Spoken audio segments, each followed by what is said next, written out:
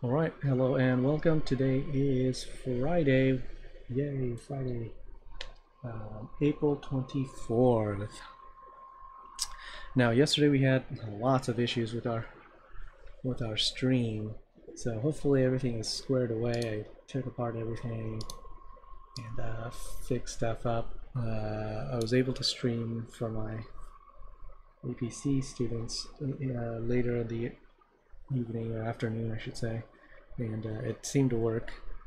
Um, so it seemed to have uh, stabilized. Everything is working now, and uh, hopefully we don't get those crashes like we did yesterday.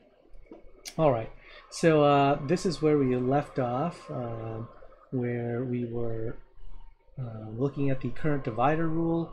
Uh, the total current in the system we calculated at 4 amps, and those 4 amps will split up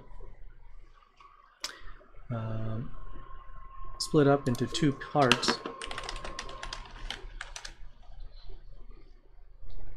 And uh, based on based on the resistances of each branch, it, it will, uh, and the fact that each branch had six ohms of resistance, um, this tells us that the splitting will be 50-50, an even split, right?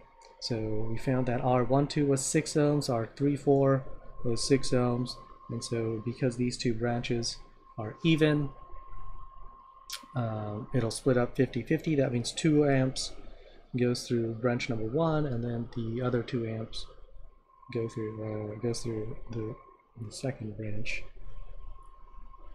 Okay, and we know that 3, 4 are in series, and uh, 1 and 2 are in series one so r1 i12 is the same as i1 is the same as i2 because because uh, they're all they're in series. And and just for this time uh, it is equal to to what's this time? It's equal to 2 amps.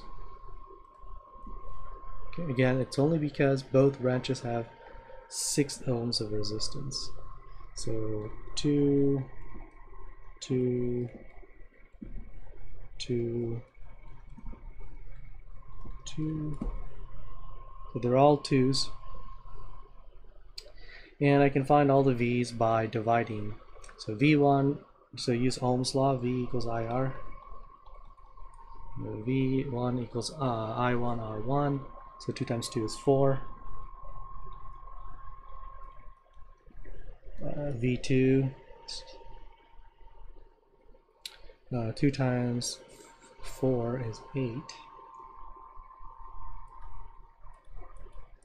notice how they combine v1 and v2 combine to form the total voltage v which is 12 same thing with 3 and 4 now, 3 is uh, 3 and 4 are the same resistances so they so they drop the same amount of voltage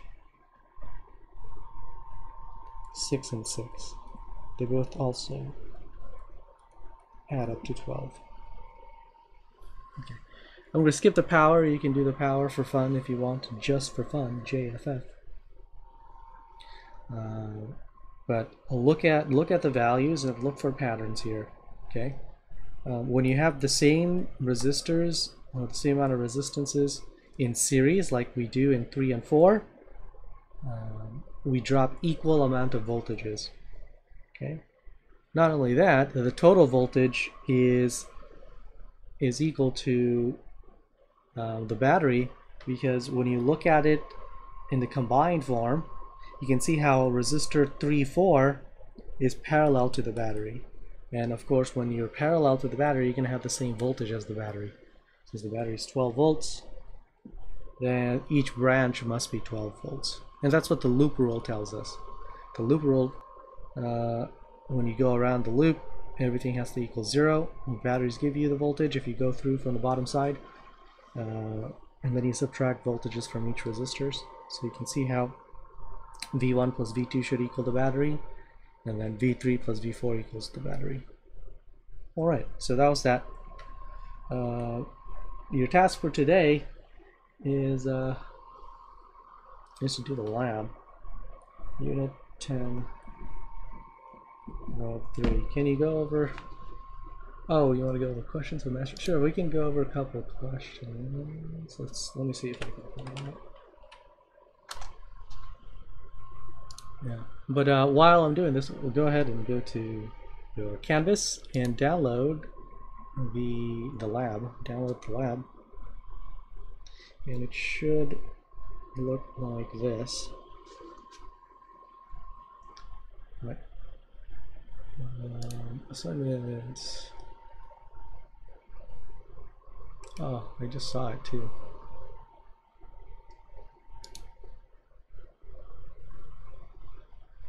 Number 10.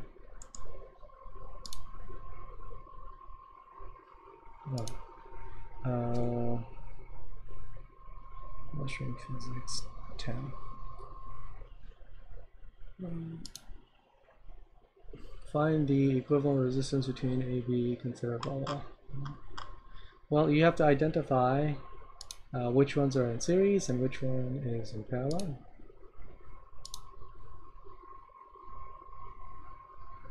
Ah, here we go. Which one's in series, which one's in parallel. Um, so in number 10, you have so wherever you see A and B, you can put the battery there. So imagine there being a battery here at A and B.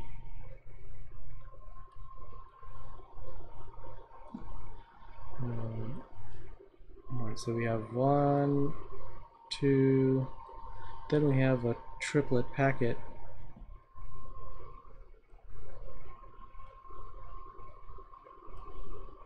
And then a third one.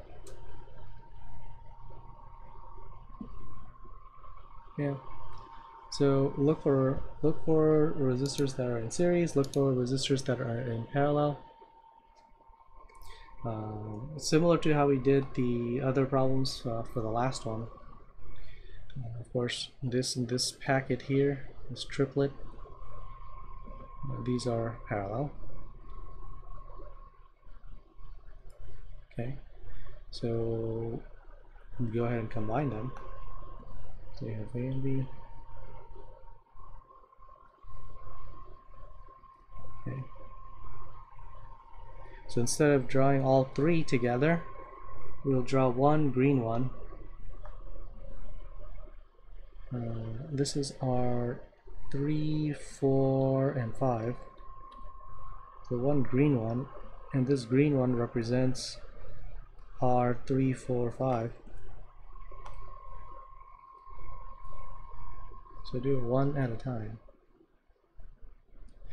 Okay, now you should be able to see that 3, 4, 5 and this one over here at the end, these two, number 6, are 6, these two are now in series because the same current goes through both of them. And so you should combine them in series now. So the orange one, this orange resistor is R345 plus R6. Alright. Alright, Chris, what do you see now? Once I combine the green one with the, the sixth resistor, uh, what do you see? How are the rest related?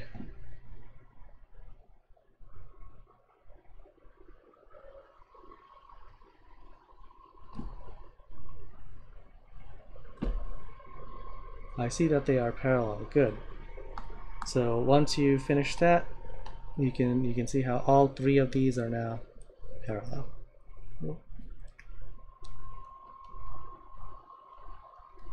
Yeah. So the strategy, remember, the strategy is to do the do them one chunk at a time, one set at a time. Don't try to do all of them at this at the same time.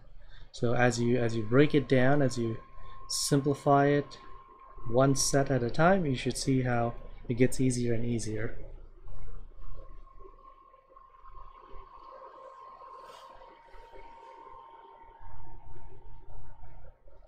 Alright, so that was number 10. Are there any other ones? Here, let's go back. We finished up to 3, I think.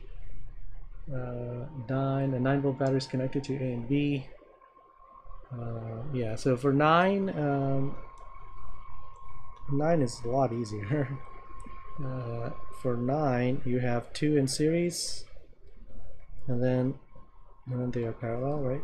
So do the series first. So these two are in series. And once you combine them in series, then they become parallel with number three. Uh, and of course, for some of these questions, you can you can do them by by putting them on our simulator kit. So to do it, once you download your lab, you should um, click the link and go to the same PhET simulation kit. Right, it's the same DC circuits kit. Uh, let me pull it up here. Um, there it is. It's the same one we've, we've seen before. Um, okay, this time we, we, we need a, a battery. Uh, the battery should point the other way. You can click on the battery and swap it uh, like so. Uh, and we need three resistors. Okay. Uh, let's go to use the diagram mode. So two resistors, like so. I'm going to use lots of wires so that so that's easier to connect them. So we'll use two wires in the front and the back, two wires in the front and the back, okay. and then connect them.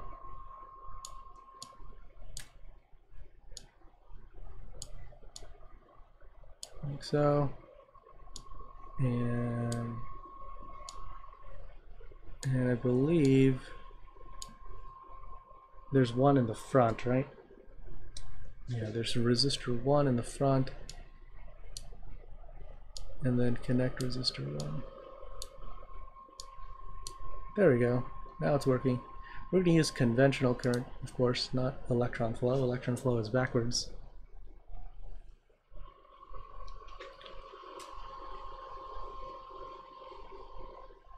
Okay. Um, you have to make sure that the values of, of your resistors are different. So, so cl you click on each resistor and change the value. So here's the resistor number one. Click on it, change it.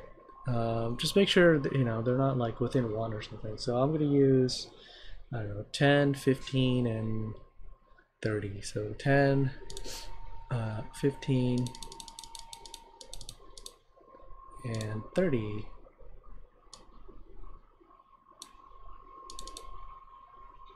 So, uh, I see that more and more people are waking up. Everyone had a hard time waking up today.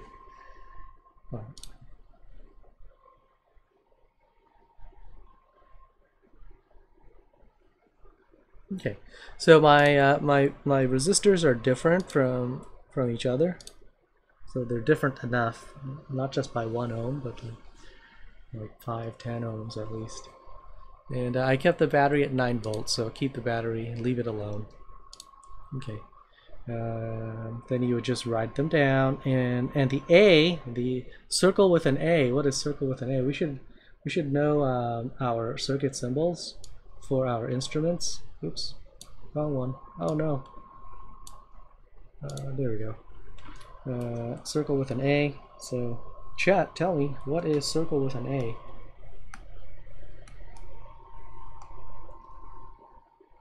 Circle with an A, that's a circuit symbol.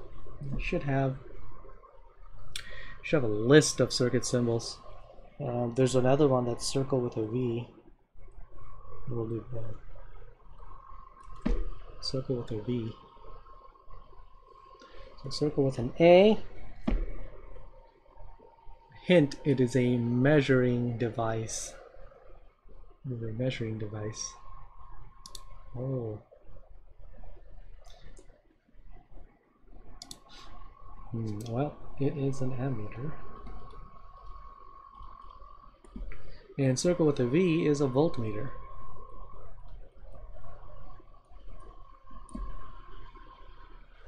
Okay. So circle with an A means ammeter. It measures current. Wow, there's a lot of delay. I think that's why. There's like a five second delay. I don't know why there's such a huge delay today. Oh. Um, yeah, so circle with an A is an ammeter, circle with a V is a voltmeter. So we'll go ahead and put the ammeter um, in our circuit. Uh, I need to cut open. Remember, when we put the ammeter, we have to put the ammeter in series. So when I put the ammeter in here, the ammeter will now measure the current for the battery. So this is the total current for my for my system right now because it's measuring the battery. Dennis couldn't come today. Oh, uh, that's yeah. He's usually a regular. and of course, you can put this ammeter other places to measure the other currents. So if I'm uh, if I want to measure it for resistor 1, put it in front of resistor 1. But notice how all of the current goes through resistor 1. So it must be the same total current that goes through resistor 1. So we should be able to conclude that I total is equal to I1. But it is different for I2 and I3 because because uh, it splits up now. So since it splits up, you know, part of it will go through the first branch, part of it will go through the second branch. Let's go and open up right here. Open it up right in front of resistor 2. Let's take the ammeter in there. And now this will measure, whoa, this will measure current number 2. Alright, so uh, that's that. Uh, go ahead and finish up your lab. Um, I made it due next Saturday, not this Saturday, so not tomorrow. Uh, I just do next Saturday. Uh, but get it done, you know, so you don't have to worry about it. Um, afterwards, uh, you know, continue to work on your mastering physics. All right. Well, thanks for tuning in. Yep, it is. Uh, thanks for tuning in. I'll see you next time.